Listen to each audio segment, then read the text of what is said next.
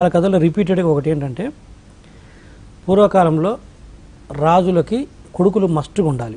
ఎందుకంటే యువరాజులు లేకపోతే ఆ రాజ్యం మీదకి ఎవరైనా దండెత్తొస్తారు. ఒక కొడుకు అనే వ్యక్తి ఉంటే అతను మగపిల్లాడైతే చాలు ముందు. అంటే ఒక యువరాజు ఉన్నాడంటే ఆ రాజ్యానికి ఒక దిక్కు ఉందన్న సెన్స్ ఉండేది. సో ఆ కాంటెస్ట్లో ఏంటంటే కొంతమంది రాజులకి అబ్బాయిలు పుట్ట అందరికి అబ్బాయిలు పుట్టాలని ఏం లేదు కదా కొంతమంది కూతుర్లు పుడతారు.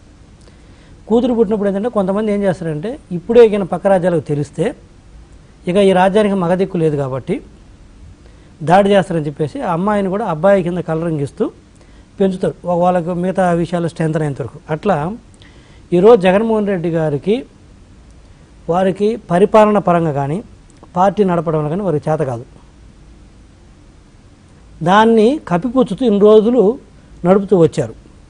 ఇప్పటికి బయటపడుతుంది ఎందుకంటే వారికి పరిపాలన దక్షత పార్టీ నడిపే దక్షత లేదంటానికి ఎగ్జామ్ నేను ఎందుకు చెప్తున్నంటే రాజశేఖర రెడ్డి గారి మరణానంతరం ఊవెత్తున వచ్చినటువంటి సెంటిమెంట్ తోటి అలా క్యారీ అయింది. ఆ తర్వాత వారి అరెస్ట్ తోటి చాలామంది ఎమోషన్లకు గురై కనెక్ట్ అయ్యారు. ఆ తర్వాత రెండు వేల పద్నాలుగులో రాష్ట్ర విభజనతోటి కాంగ్రెస్ పార్టీ దెబ్బతింటంతో ఎక్కడైతే కాంగ్రెస్ ఓట్ బ్యాంక్ మొత్తం ఉందో యాజ్ టీజ్గా ఇన్ఫ్రాస్ట్రక్చర్ మొత్తం వైఎస్ఆర్సీపీకి వెళ్ళడం జరిగింది జగన్మోహన్ రెడ్డి గారికి. ఆ బలాన్ని తన బలం అనుకుంటున్నారు. ఇక తనకున్నటువంటి చేతగాంతానాన్ని బయటపడకుండా ఈ పక్కన స్పీచ్ రాసిచ్చేది ఒక జీవిడి కృష్ణమోహన్ గారు. సత్యరావు గారు వచ్చేసేలేకి వారి తరపున మాట్లాడటము. ఇవన్నీ కూడా మీరు గమనిస్తే మూర్తి గారు. ఎక్కడ మన ముఖ్యమంత్రి వైఎస్ జగన్మోహన్ రెడ్డి గారు ఏ రోజు తను ఫేస్ చేయలేడు మీడియాని. ఎవరికి ఆన్సర్ చేయలేడు. మేబీ తన వ్యాపారంలో అది కూడా ఫ్రీ మనీ తోటి కాబట్టి వ్యాపారాలు చేశాడు. వ్యాపారస్తుడని ఏదో కొంతమంది అంటారు కానీ మంచి వ్యాపారస్తుడు అంటారు కానీ అది ఎక్కువ బ్లాక్ మనీ ఉండటంతో దాంతో వ్యాపారాలు చేస్తూ వచ్చాడు. అంటే లాభాలు లేకొచ్చేంత ఖర్చు పెడుతూ పెడుతూ పెడుతూ చివరికి లాభాలు లేకొచ్చింది దానికి కూడా చాలామంది టీం పనిచేశారు. చేసుకొచ్చి తన బలం కింద చేసుకున్నారు ఎందుకంటే ఆయన ఇప్పుడు కొత్తగా వచ్చినప్పుడు మాట్లాడటానికి విషయాల మీద అవగాహన లేనప్పుడు కొంచెం చూసుకొని మాట్లాడతారు తెప్పించుకొని మాట్లాడతారు. రెండు వేల తొమ్మిదిలో ఆయన ఎంపీగా పోటీ చేసి రాజకీయాల్లోకి వచ్చి ఇప్పటికి రెండు వేల ఇరవై మూడు కంటే దాదాపు నీకు పద్నాలుగున్నర సంవత్సరం అవుతుంది వాళ్ళు ప్రత్యక్ష రాజకీయాల్లోకి వచ్చేసి. ఇక వాళ్ళు రాజకీయాలు ఆయన పంతొమ్మిది వందల డెబ్బై రెండులో పుడితే డెబ్బై ఎనిమిదిలో రాజశేఖర రెడ్డి గారు ముఖ్యమంత్రి అయితే ఆరు సంవత్సరాల వయసు నుంచి ఆయన రాజకీయాలు చూస్తున్న ఎమ్మెల్యే వ్యక్తి. రాజశేఖర రెడ్డి. గారు స్వర్గీయ రాజశేఖర రెడ్డి గారు. అంటే తన ఆరు సంవత్సరాల వయసు నుంచి రాజకీయ కుటుంబంలో ఉన్నాడు. పద్నాలుగున్నర సంవత్సరం నుంచి తనే రాజకీయ పార్టీ నడుపుతూ రాజకీయాల్లో ఉన్న వ్యక్తికి ఈరోజు ఈ రోజుకి కూడా ఆ నియోజకవర్గానికి ఏదైనా నియోజకవర్గానికి వెళ్తే దానికి ఒక స్పీచ్ రాసి ఇవ్వాలి ఒకళ్ళు. ఆ స్పీచ్ చూసి చదువుతాడు. వాళ్ళ నియోజకవర్గం పేరు దగ్గర నుంచి ఆ ఇన్ఛార్జ్ పేరు దగ్గర నుంచి అక్కడ ఉన్న సమస్యల గురించి ప్రతిపక్షాన్ని ఏం తిట్టాలో మీడియాని ఏం తిట్టాలో కూడా స్పీచ్ రాసిస్తే వచ్చి చదివిపోతాడు. ఇది నేను చెప్తుంది. ఇందాక అర్థమైందా? ఇలా కవరింగ్ చేస్తున్నారు. లేకపోతే ఒకసారి ఉన్నది టీవీ ఫైవ్ ఏబిఎన్ ఈనాడు మూడునే కదా మీరు తిట్టేది. ఇక ప్రతిపక్ష పార్టీ టీడీపీ జనసేన ఈ రెండు పార్టీనే కదా మీరు తిట్టేది. దీనికి ప్రతిసారి స్పీచ్ చూసి చదవటం ఏంది మూర్తి గారు? పవన్ కళ్యాణ్ గారికి ముగ్గురు భార్యలు అని చెబుతాడు అది మర్చిపోయే విషయమా? మీరే కదా చెప్తారు. దాన్ని కూడా ప్రతిసారి సూచన పవన్ కళ్యాణ్ గారు ముగ్గురు భార్యలు. ఈనాడు ఆంధ్రజ్యోతి టీవీ ఫైవ్ పచ్చ మీడియా. టీడీపీ జనసేన రాక్షసులు. ఒక మీటింగులు అంటే రాసుకొని వచ్చును. రెండో మీటింగ్ అంటే రాసుకొని వచ్చినావు మూడో మీటింగ్ అంటే రాసుకొని వచ్చును. అరే ప్రతి మీటింగ్లో నువ్వు చూసాను చదవటము? రెండోది పేరుకి ఆయన రివ్యూ చేస్తారంటారు కానీ ఆ రివ్యూ చేసేది ఏం లేదు. కూడా కూర్చొని మీడియాకి విజువల్స్ పంపిస్తారు. రివ్యూ చేసే సజ్జల రామకృష్ణారెడ్డి గారు. తర్వాత వచ్చి మాట్లాడేది ఆయన. స్పీచ్లు రాసిచ్చే జీవిడి కృష్ణమోహన్ గారు.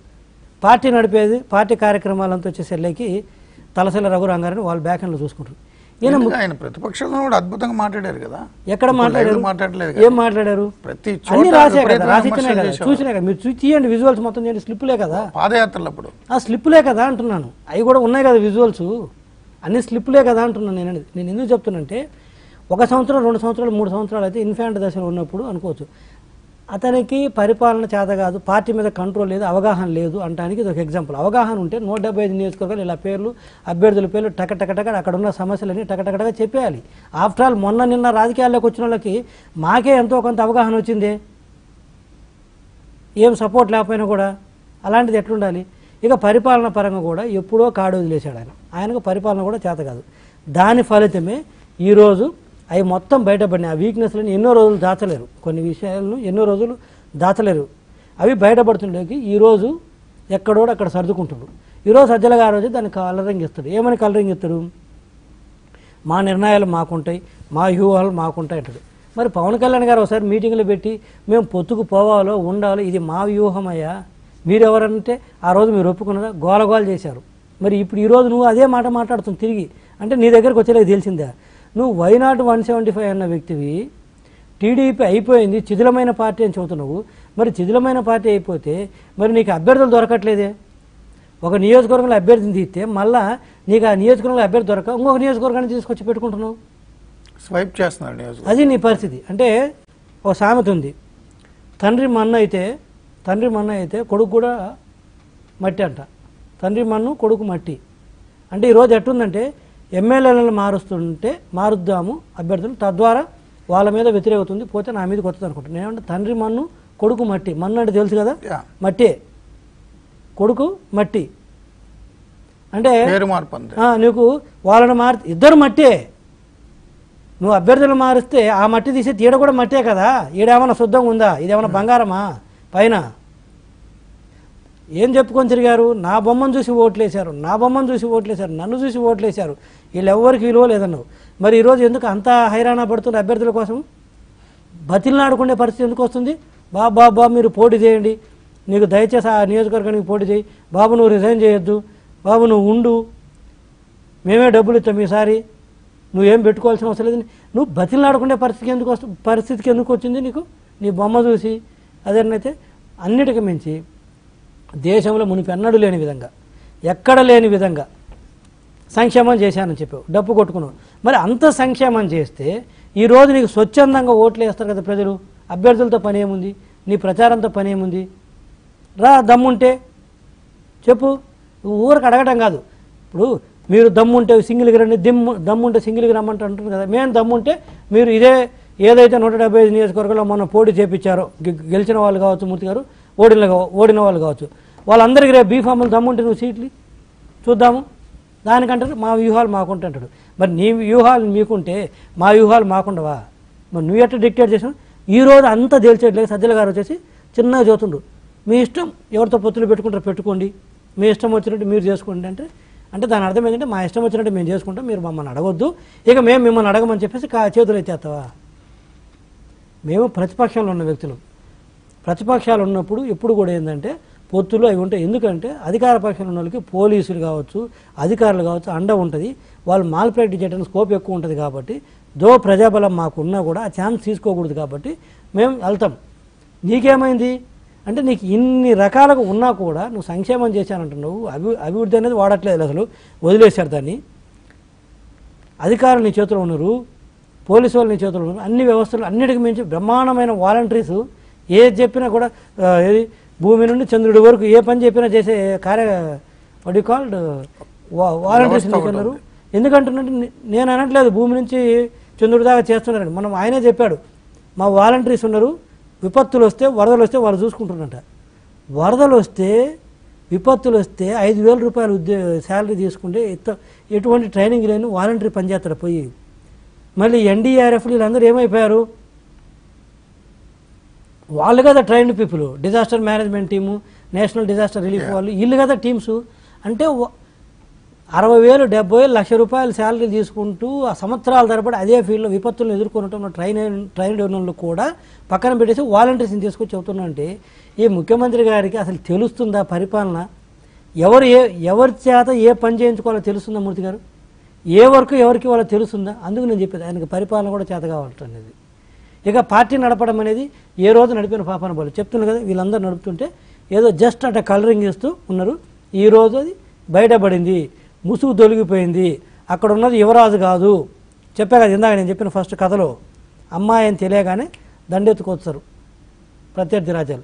ఈరోజు అదే అయిపోయింది. మన ముఖ్యమంత్రి గారికి పరిపాలన చేత కాదు పార్టీ నడపడం చేత కాదనేది ఈరోజు ముందు వాళ్ళకే తెలిసిపోయింది. లేకపోతే అత్యంత అత్యంత సన్నిహితుడు అనుకున్న ఆళ్ళ రామకృష్ణారెడ్డి గారి పార్టీ నుంచి వెళ్ళిపోవడం ఏంటి?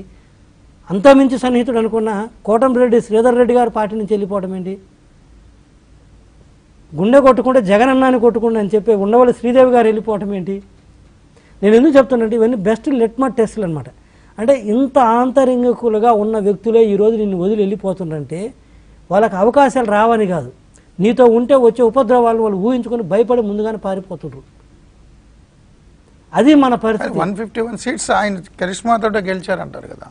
ఎక్కడ మళ్ళా నూట యాభై ఒక్క సీట్ లేక ఎక్కడ మూర్తి గారు? నేను చెప్తున్నా కదా. బట్ దాన్ని నిలుపుకోలేకపోయారు. నిలుపుగా అసలు వచ్చిందే పాల పొంగులని చెప్పే కదా కోడికత్తిది ఎవరికి? ఈరోజు చెప్పమనండి కోడికత్తిది ఆ రోజు వైజాగ్లో జగన్మోహన్ రెడ్డి గారి మీద జరిగిన దాడి వైసీపీ వాళ్ళు చేయించుకున్న దాడి కా దాడి కాదు టీడీపీ వాళ్ళు చేయించిన దాడి అని చెప్పమనండి.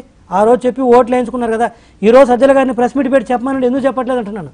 ఎన్ఐఏ వాళ్ళు నేషనల్ ఇన్వెస్టిగేషన్ ఏజెన్సీ వాళ్ళు ఒకటికి నాలుగు సార్లు ఇన్వెస్టిగేషన్ చేసి వెనక కుట్ర కుట్ర లేదా? లేదని చెప్పారు. అసలు చెప్పాల్సింది వైసీపీ వాళ్ళు ఉన్నారని చెప్పాలి. పాపం అంతవరకు ఏదో ఎక్సెప్షన్ ఇచ్చారు వాళ్ళు. సరే వేరు వేరు సంబంధాలతోటి నేను ఎంత సార్ ప్రీమియర్ ఏజెన్సీ కాబట్టి దాన్ని నేను ఇంకా తప్పు పట్టలేదు సార్ వాళ్ళు ఇచ్చిన రిపోర్ట్ని యాజ్ ఒప్పుకుంటున్నాం మనం కూడా. ఈ రోజు చెప్పమనండి. వివేకానంద రెడ్డి గారి హత్యను ఆ రోజు నారాసుల రక్త చరిత్ర అని చెప్పారు కదా. ఈ రోజు చెప్పమనండి వచ్చి అంటున్నాను. రాజశేఖర రెడ్డి గారి మరణానంతరం వారికి వచ్చిన సానుభూతి కాంగ్రెస్ విభజనతోటి వచ్చిన కాంగ్రెస్ ఓటు బ్యాంకు పోవడంతో కోడికత్తి కావచ్చు లేకపోతే ఇది కావచ్చు అన్నిటికి మించి శ్రీమతి శర్మిల గారి పాత్ర.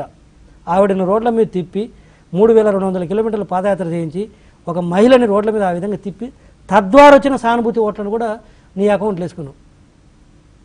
మూడు వేల రెండు వందల కిలోమీటర్లు ఒక మహిళ తిరగడం అంత సమస్య కాదు. ఎందుకంటే ఈ రోజు లోకేష్ గారు పాదయాత్ర చేస్తున్నారు కాబట్టి వారు ఎంత ఇబ్బంది పడుతున్నారో చూస్తున్నాం కాబట్టి ఆ పాదయాత్రలో ఉన్న ఇబ్బందులు అది ఒక మహిళ చేస్తే ఎంత ఇబ్బందులు ఉంటాయి ఒక మా ఒక పురుషుడు చేయటం వేరు ఒక మహిళ చేస్తే ఎన్ని రకాల ఇబ్బందులు ఉంటాయి. పాపం. అలాంటిది ఆవిడ చేస్తే ఆవిడ రెక్కల కష్టం మీద వచ్చి ఆవిడ చెమట ఓడిస్తే ఆ వచ్చిన సింపతి ఒక మహిళకు వచ్చిన సింపతిని కూడా నీ అకౌంట్లో వేసుకొని ఈ రోజు నువ్వు సీట్లు గెలిచి సంకల గుద్దుకొని నా బలం అంటున్నవే. మరి అదే నీ బలం అయితే ఈ రోజు ఏమైంది నీ బలం అంటున్నాను? ఈ రోజు ఏమైంది నీ బలం అంటున్నాను ఈ రోజు నూట డెబ్బై ఐదు అంటున్నావు కదా గెలిపించుకొని నూట డెబ్బై ఐదు మరి. నూట డెబ్బై ఐదు గెలవడానికి ఈ మార్పులు రోజు అంటారు శ్రీమతి. శర్మిల గారు లేరు విజయలక్ష్మి గారు లేరు కోడికత్తి లేదు ఇక చంపడానికి ఇంట్లో ఎవరు మిగలలేదు. ముఖ్యమైన వాళ్ళు ఓకే. ఇక రాజశేఖర రెడ్డి గారి మరణాంతరం రావాల్సినటువంటి సానుభూతి అయిపోయింది. ఈ కాంగ్రెస్ రాష్ట్ర విభజన ఆ రోజు చేసిన ఎమోషనల్ గురే పాపం బాధపడ్డ కూడా ఈ రోజు కాంగ్రెస్ ఇంపార్టెన్స్ ఏంటో తెలుసుకుంటుండ్రు ఆ కాంగ్రెస్ శ్రేణులు రాష్ట్ర ప్రజలని కాదు. మనం ఏ పార్టీని వదిలిపెట్టి ఏ పార్టీకి వచ్చామని చెప్పేసి కూడా వాళ్ళు అర్థం చేసుకుంటారు. ఈరోజు చాలామంది వైసీపీలో ఉన్న వాళ్ళు కొంతమంది నేను చెప్తున్నా కొంతమంది టీడీపీకి రావడానికి ఇష్టపడుతున్నారు చాలామంది కాంగ్రెస్కి వెళ్ళడానికి ఇష్టపడుతున్నారు వాళ్ళు తెలుసుకున్నారు. ఇక ఇంకా ఏముంది నీ దగ్గర? వీటన్నిటిని పెట్టుకుని కదా నువ్వు గెలుచుకుంది నూట యాభై ఒకటి. ఇవన్నీ బయటలోకి నీకు చుక్కలు కనపడుతున్నాయి. అందుకే ఇవన్నీ కథలు పడతాను. అటు మార్చి ఇటు మార్చి. చిన్న బ్రేక్ అండి. బ్రేక్ తర్వాత కిరణ్ మాట్లాడతారు